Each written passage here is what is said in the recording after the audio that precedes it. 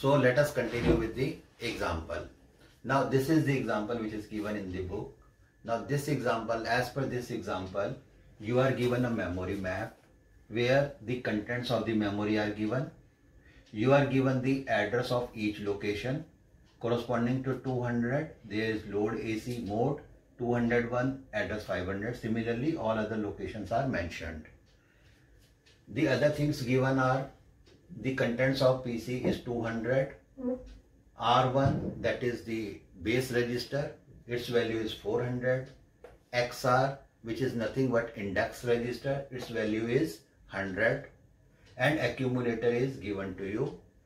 Now what we are required to do is these are the addresses, the modes, different modes of addresses which are given to us. We have to find out the effective address and the operand uh, at the end of each address. So this is what we will calculate. Now here after seeing this example you can make out that the address here is in two memory words 200 and 201.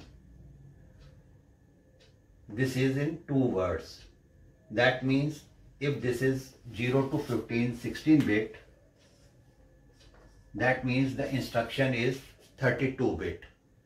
So in this way, this is the address of the instruction, this is the address of the next instruction and the address of the next instruction will be 204 because each instruction is in two words. So this is what we have to be very careful about it. Now we will calculate the uh, effective address and operand by using the each addressing mode. So now let us see in case of direct addressing mode. In case of direct addressing, what we have discussed is that the instruction itself contains the address of the operand. Now here the address is 500. So this is the address of the operand. So in this case, the effective address will remain 500 and add the address 500, you will find the operand that is 800. In case of indirect addressing mode, in case of indirect addressing as we have discussed, that the address which is mentioned in the instruction, it is the address of a address which contains the operand. That means this is again a address and at this address, this is the address where operand is present. So the effective address will be 800 and the operand will be 300.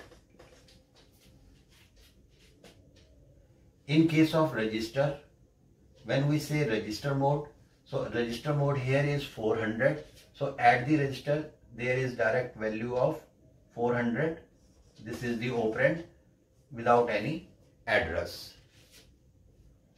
In case of register indirect, now 400, that means in, in case of indirect, the address which is in the register is the address of the, is the address of a address of the operand. So at 400, you will find the value 700. So the address, effective address will be 400 and the operand will be 700.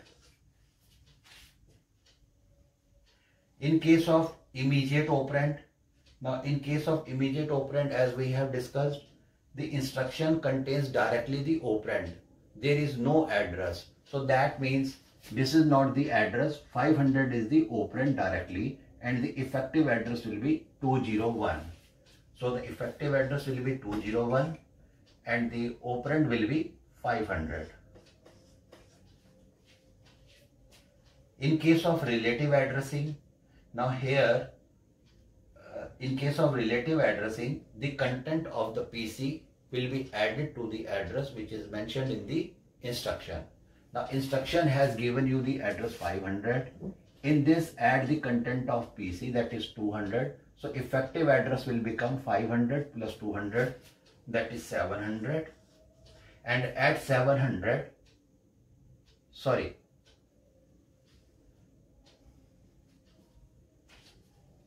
in case of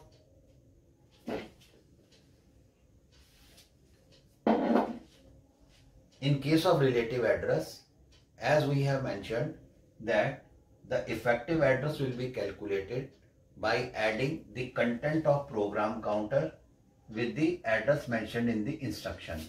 So now at present the address which is available in the PC is 202. So 202 plus 500 that is 702. This is the effective address and at 702 the value is 325. So this is the operand.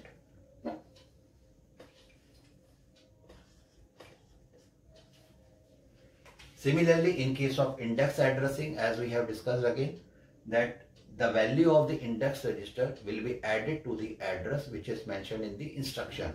That is 500. So 500 plus the value of the index register is 100. That is 600. So effective address will become 600. And at 600, the operand is 900.